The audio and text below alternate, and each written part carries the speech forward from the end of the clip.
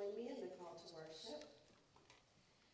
Oh, give thanks to the Lord, for he is good. His steadfast love endures forever. Let Israel say, His steadfast love endures forever. Open to me the gates of righteousness, that I may enter through them and give thanks to the Lord.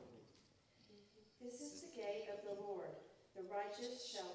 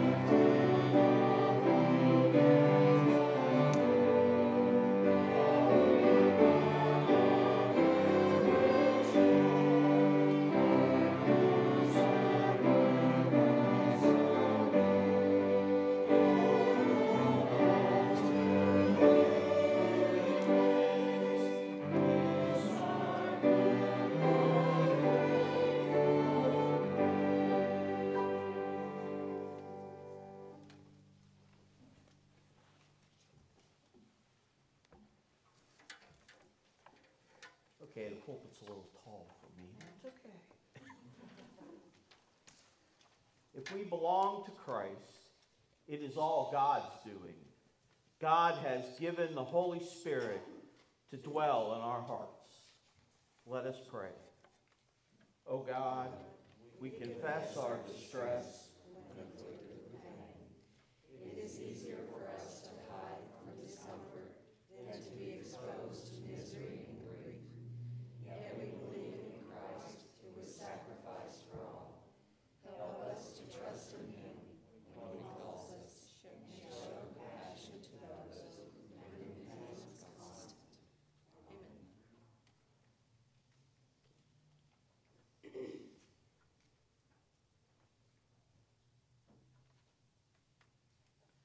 God's mercy is from everlasting to everlasting.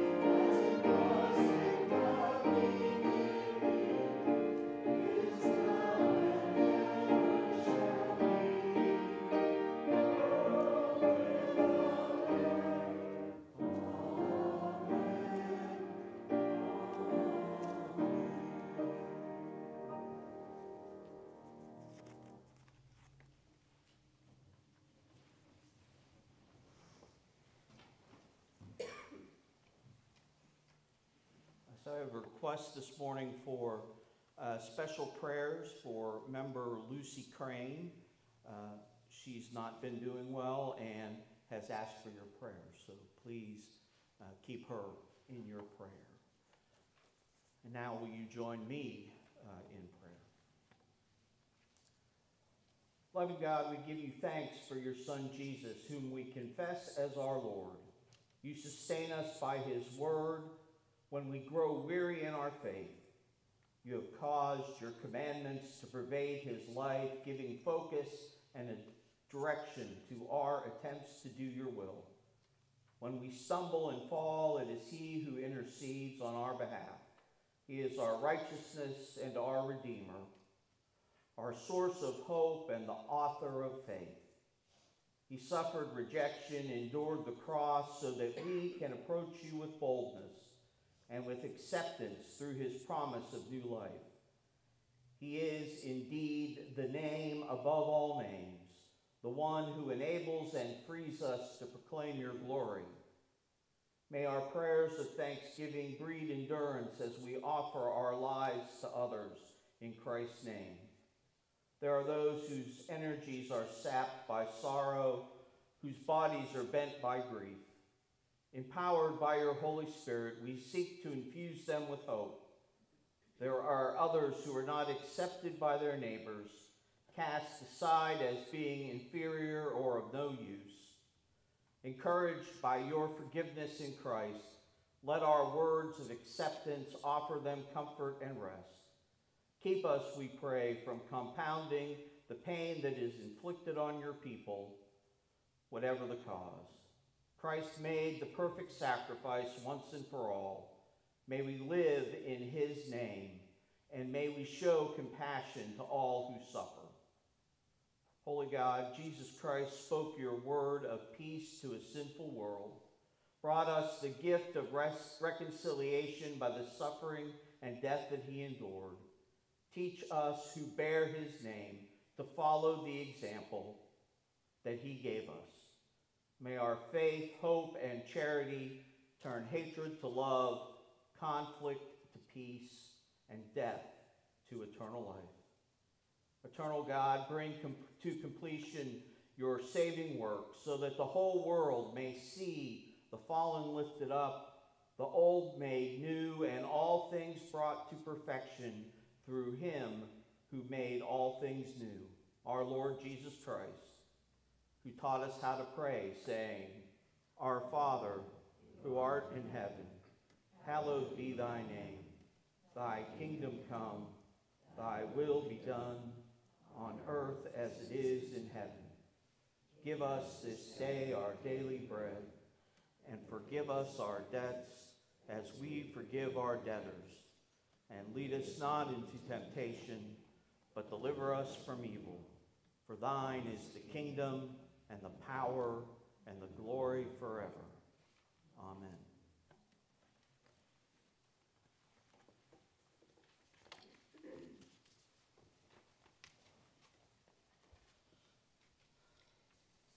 Please join me in the prayer for illumination. O God, as we read and hear the scriptures, grant us greater insight and understanding of the living word, Jesus the Christ. Amen. We will be reading together Psalm 31. Be gracious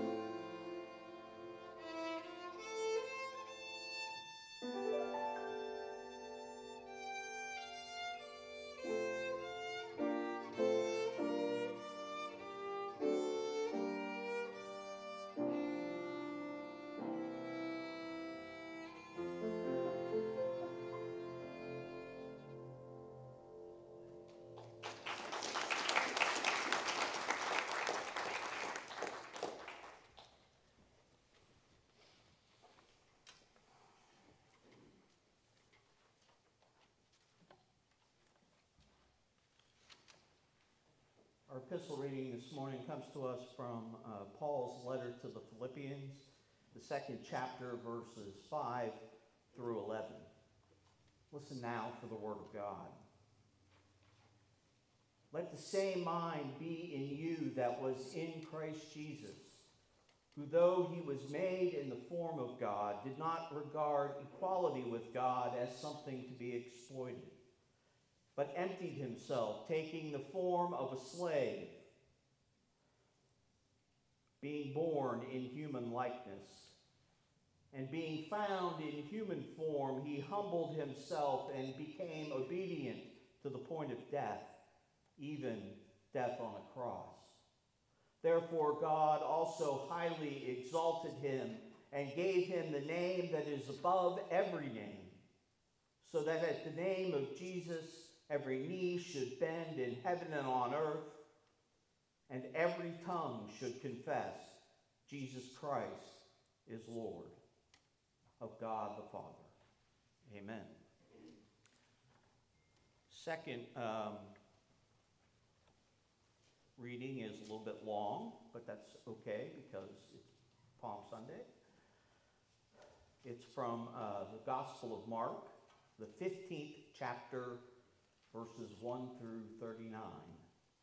Listen again for God's word to you. As soon as it was morning, the chief priests held a consultation with the elders and scribes and with the whole council. They bound Jesus and led him away and handed him over to Pilate. Pilate asked him, Are you the king of the Jews? Jesus answered, You say so. Then the chief priests accused him of many things, and Pilate asked him again, Have you no answer? See how many charges are being brought against you. But Jesus made no further reply, so that Pilate was amazed.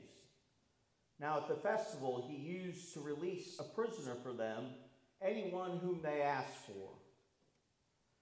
Now a man called Barabbas was in prison with rebels who had committed murder during the insurrection. So the crowd came and began to ask Pilate to do for them according to his custom. Then he answered me. Do you want me to release the king of the Jews? For he realized that it was out of jealousy that the chief priests had handed him over. But the chief priests stirred up the crowd to have them release Barabbas for them instead. And Pilate spoke to them again. Then what do you wish me to do with the man you call King of the Jews? They shouted back, Crucify him. Pilate asked them, Why? What evil has he done? But they shouted all the more, Crucify him. So Pilate, wishing to satisfy the crowd, released Barabbas for them, and after flogging Jesus, handed him over to be crucified. Then the soldiers led him to the courtyard of the place that is the governor's headquarters. And they called together the whole cohort and they clothed him in a purple cloak, and after twisting some thorns into a crown, they put it on him, and they began saluting him. Hail, the King of the Jews! They struck his head with a reed, spat upon him, and knelt down in homage to him. After mocking him, they stripped him of the purple cloak and put his own clothes on him, and then they led him out to crucify him. They compelled a passerby who was coming from the country to carry the cross. It was Simon of Cyrene, the father of Alexander and Rufus. They brought Jesus to the place called Golgotha, which means place of the skull. And they offered him a mix of wine and myrrh, but he did not take it. And they crucified him and divided his clothes among them, casting lots to decide what, who should take what. The inscription of the charge against him read, The King of the Jews. And they crucified two bandits, one on his right and one on his left. Those who passed by derided him, shaking their heads and saying, Ah, you who would destroy the temple and build it in three days, save yourself. And come down from the cross. In the same way, the chief priests, along with the scribes, were also mocking him among themselves and saying, He saved others, he cannot save himself. Let the Messiah, the King of Israel, come down from the cross now, so that we may see and believe. Those who were crucified with him also taunted him. When it was noon, darkness came over the whole land until three in the afternoon. At three, three o'clock, Jesus cried out in a loud voice, Eloi, Eloi, Eloi, lema sabachthani, which means, My God, my God, why have you forsaken me? When some of the bystanders heard it, they said, He is calling for Elijah. And someone ran and filled a sponge with sour wine and put it on a stick and gave it to him to drink, saying, Wait, let us see whether Elijah will come take him down. Then Jesus gave a loud cry and breathed his last. And the curtain of the temple was torn in two from top to bottom. Now, when the centurion who stood facing him saw that in this way he breathed his last, he said, Truly, this man was God's son. This is the word of God for the people of God. Thanks be to God.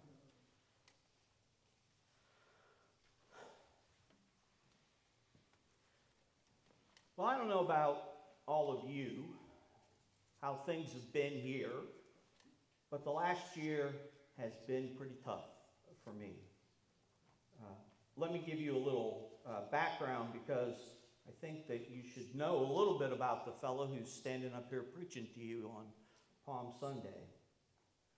Um, for almost 13 years, I was the pastor at Faith Presbyterian Church, which is in southwest Jefferson County in Valley Station. If any of you have been involved in the presbytery, you know that the church closed in July of last year. I'm also the intensive care unit chaplain at University of Louisville Hospital. And you may have heard of a little thing called COVID. That's uh, had a profound effect on how we do our jobs uh, at the hospital. The good news, I think, is that we've seemed to turn the corner finally on this pandemic. And so we are here at the beginning of Holy Week, which is the beginning of the end of Jesus' journey to the cross. And I think most of us are ready to put this long season of COVID suffering behind us. And I know that reflecting on Jesus' passion at this point in our history might be the last thing any of you want to do, especially in light of the other narratives our collective ears and hearts have been forced to ingest. The protests this summer over George Floyd and Breonna Taylor, which hit very close to home for those of us in Louisville. And just last week, the victims of mass shootings in Atlanta and Colorado. So I think the words of our psalm for this week are particularly poignant. My eye washes, wastes away from grief, my soul and body also, for my life is spent with sorrow, my years with sighing, my strength fails because of my misery and my bones waste away.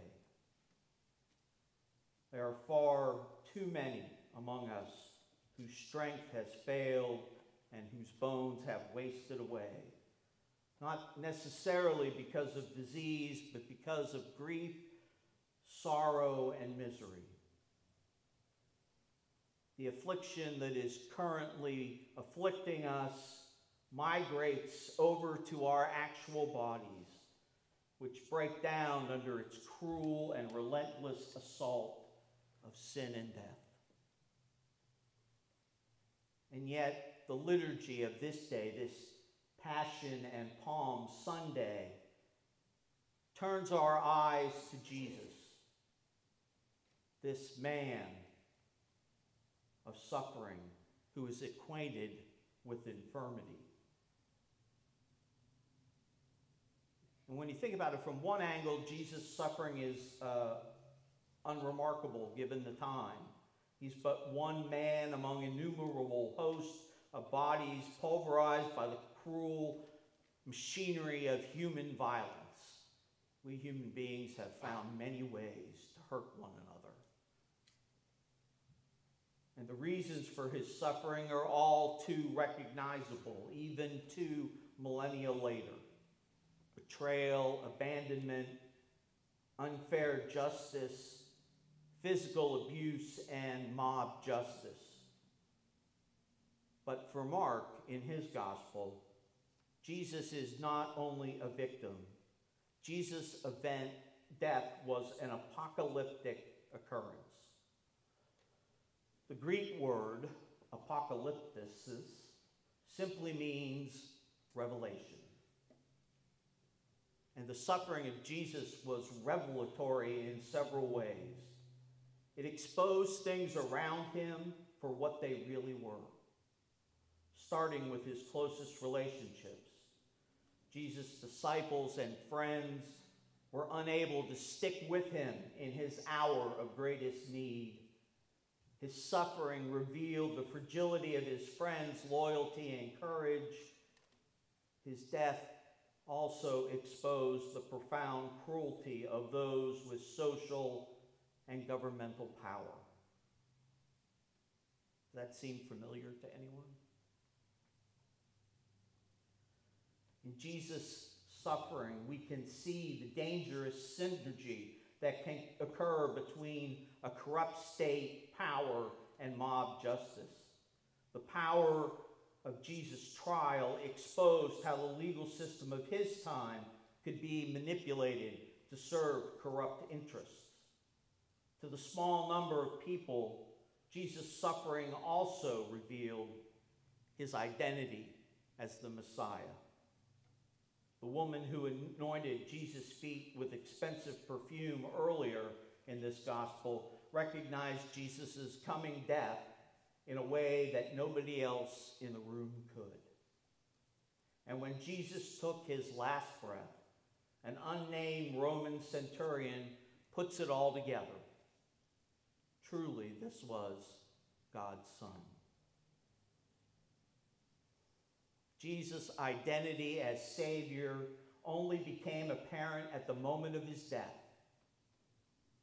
and to the most unlikely of people.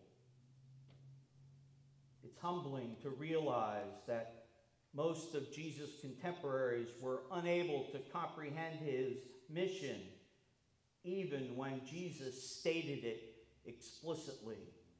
The Gospel of Mark shows us that the disciples are dense, and it gives me a great deal of hope because I can be pretty dense sometimes. They just didn't get it. But Jesus' death was also apocalyptic in another way because it marked a new chapter in God's redemptive drama. This turning of the page in the darkening of the sky and the reading, rending of the temple curtain in the breaking apocalyptic age is also apparent in the context of Mark. Jesus' passion takes place over eight days, including Passover itself. This chronological setting makes the Exodus an important theological and literary backdrop for this story. When darkness falls across the land, in Mark 15:33 for instance, one is reminded of the plague of darkness in Exodus 10 followed by the death of the firstborn in Egypt in Exodus 11. And the upshot of all this is that Jesus' own suffering is part of a larger story of liberation, effected in this case by the death of the Son of God rather than the firstborn of Egypt. As we reflect on the evils in our own present age, it becomes readily apparent that we're still waiting. We're still waiting for the Son of Man to arrive on the clouds with great power and glory. Jesus' ancient command to keep awake remains an imperative for those of us who claim the faith of Christianity. But the absence of Christ's glory does not mean we are left without God's power. In this age of darkness, power appears to us in the form of weakness, in the gift of healing that comes wrapped in the garbs of suffering. The Passion of the Christ in the Gospel of Mark makes the strange and mysterious claim that the spilled blood of Jesus contains the gift of a new covenant. And as we pivot from Lent to Holy Week, we set down our Lenten crosses and direct our gaze to the cross of Christ, where we find the clearest expression of God's love, compassion, and hope for our world. May that be what each of you finds during this holiest of weeks. Amen.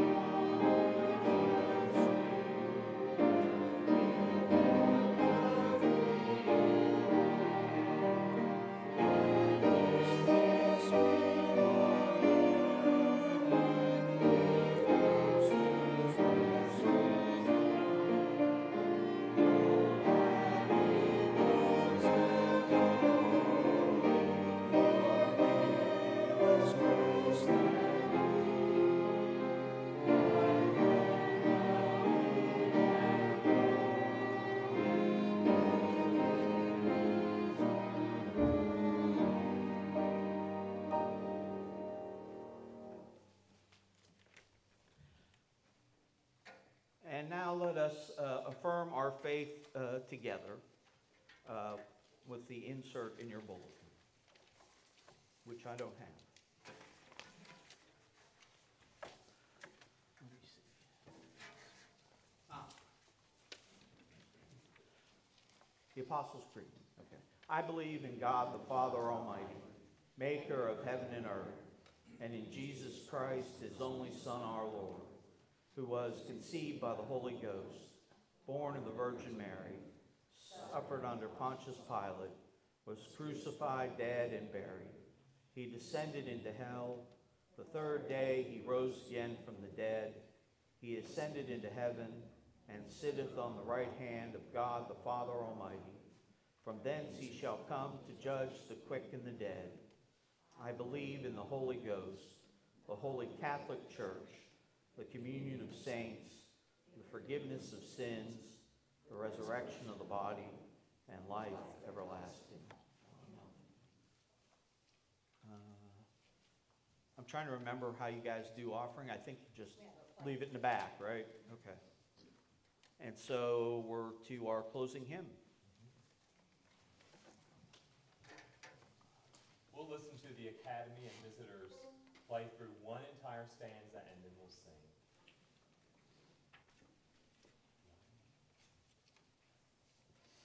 Thank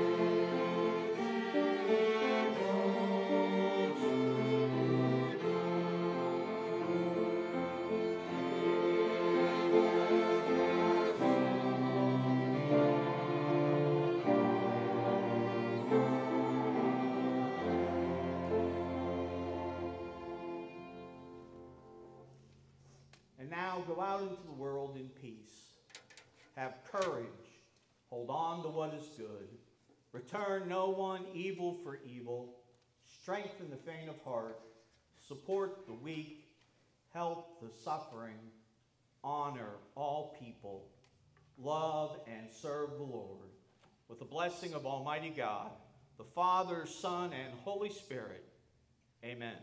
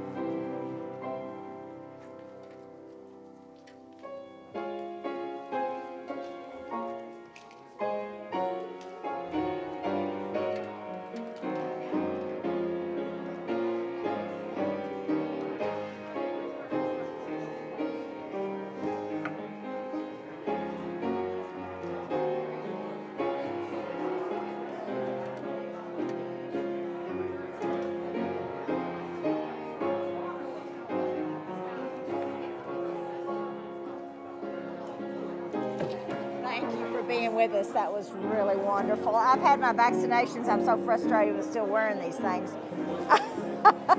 but uh, anyway, we appreciate you being with us. Look forward to you being back with it. Look forward to you being back with us again next week. Okay. Yeah, um, it was very